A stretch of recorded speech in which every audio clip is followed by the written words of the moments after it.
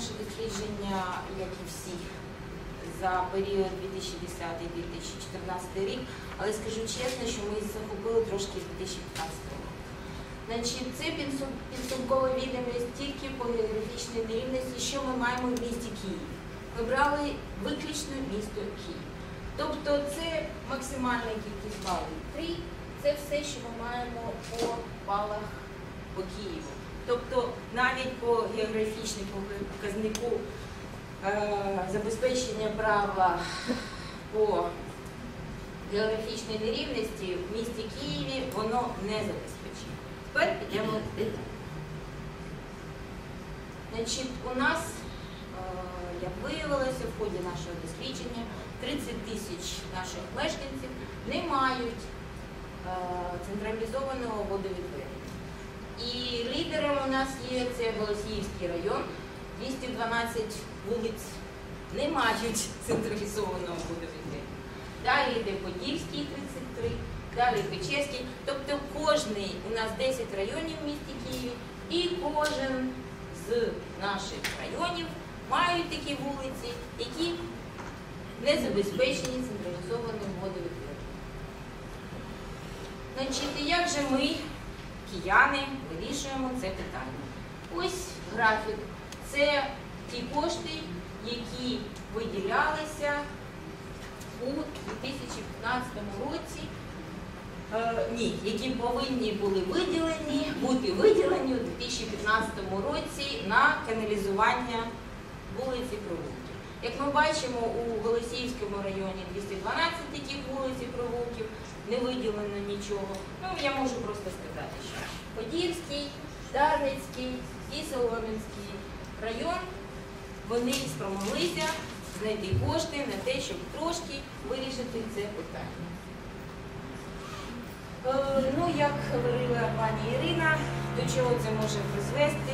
Ми маємо дуже сумну таку подію, яка була у нас у Бортничі у січні 2015 року, коли каналізаційні стічні води попали у локальний, нехай це буде локальний водопровід, але це може статися і для, централізованого водопроводу. Е, В принципі, він обслуговує приблизно 8 тисяч осіб, е, 158 осіб було госпіталізовано, із них 121 дитина. Але скажу вам чесно, що всі бортничі, які там 8 тисяч побили ту водичку, вони всі перехворіли, вони просто-напросто не зверталися. Ну і що? Що водний фактор передачі, дякую СЕС, або хто за це відповідає, підтверджено лабораторно, що це дійсно було ви, ви, ну, неякісною питною водою. Ну і що ми маємо в перспективі? В перспективі ми маємо, що наша Київрада прийняла в квітні 2016 року комплексну цільову програму підвищення енергоефективності і розвитку житлово-комунальної інфраструктури. В цьому, в цьому році вони е, планують будувати гідровузол, щоб вирішити питання по Бортничу. Я вже закінчила.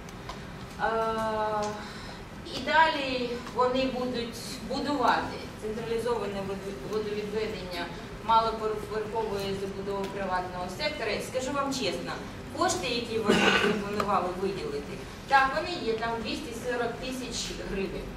Але е, ну, з власного досвіду, коли телефонуєш уже в район і питаєш, а що ви робите, значить, по сели, село у нас є Троєщина. Ну просто так мені стало цікаво. Що ж там в цьому селі роблять? А нічого, вони зробили, значить, е, проєктну документацію вони зробили, вони надіслали її місту. Місто сказало, ну добре, коштів немає. Водоканал каже, ми нічого не можемо зробити, значить коштів немає. Все, значить, все стоїть на місці. Як там, ну, от так у нас маємо те, що маємо. Єдине, що хочу сказати, що знову ж таки в цій програмі вони запланували там ну, до 2020 року. Ми будемо це моніторити. І так як у нас, дякую, є е, вже список всіх вулиць, які у нас не каналізовані, ми просто нам просто будемо дивитися, що у нас каналізовано, що ні. Це тільки один аспект з нашого дослідження.